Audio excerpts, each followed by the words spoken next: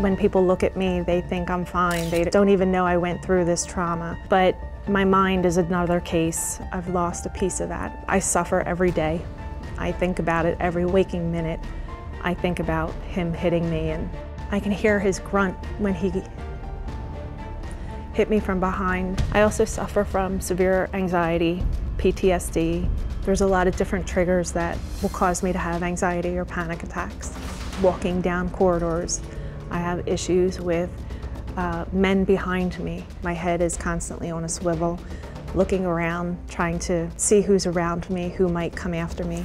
My employer had to move me into an office so that my back was against the wall and I could see everybody coming towards me. I also struggle with guilt and shame. When he was strangling me, I gave up. I stopped fighting, almost cost me my life and my children would have had to grow up without a mother, and my husband would have had to bury me.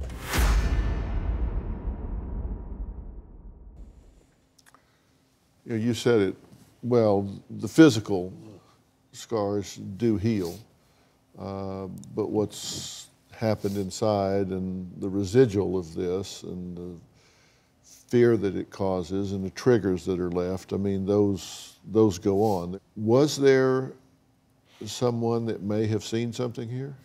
Yes, a woman who stated that she was in that hallway at the time I was taken and had witnessed two men at the, the door. And when she walked by, she gave them a smile and she said she actually feared for her life because of the looks that they gave her. And she went back to her room and she jokingly told her husband, you know, I'm glad I'm fat and ugly, or I think they would have kidnapped me and threw me in that room. Mm-hmm. I, I want to talk about some excerpts from the affidavit of the witness that you're talking about. She says, as I walked to the lounge, I passed the maintenance closet and noticed two males standing against the wall with the maintenance door propped open. The two men were wearing uniforms.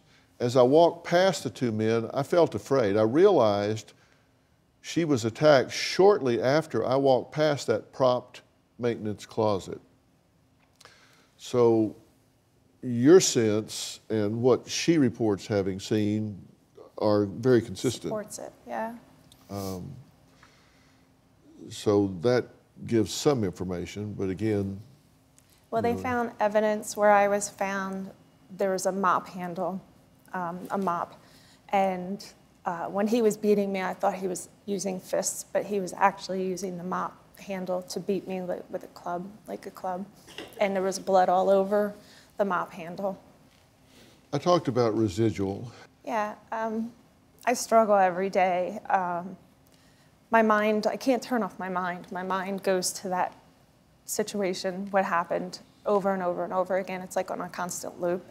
This can last forever if there if you don't do certain things to be free of it. And I want to talk about that with Son. I don't want to hurry that. Tammy wonders if she will ever be able to overcome all the feelings that she has shame, guilt, anxiety, fear, all the things that you can imagine you're left with after this. She can, but it takes some work.